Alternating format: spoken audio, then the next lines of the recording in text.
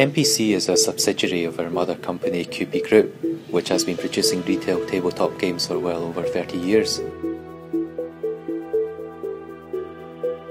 The concept behind our Impressions playing cards range is quite unique and is by no means an ordinary deck of cards.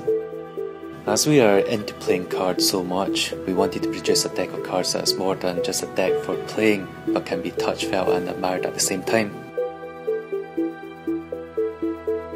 Past few years, we have invested heavily on new state-of-the-art printing and production machinery that are capable of producing really amazing results.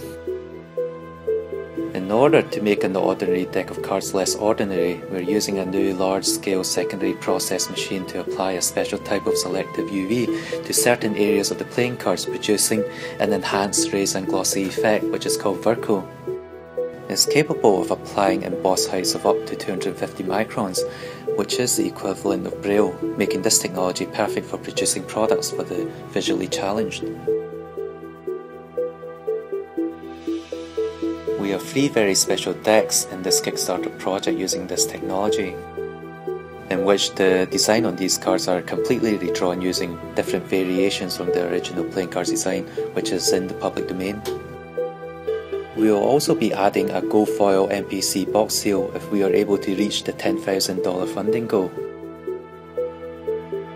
It's all fine and well applying this new Verco embossed gloss effect onto the casino playing cardstock,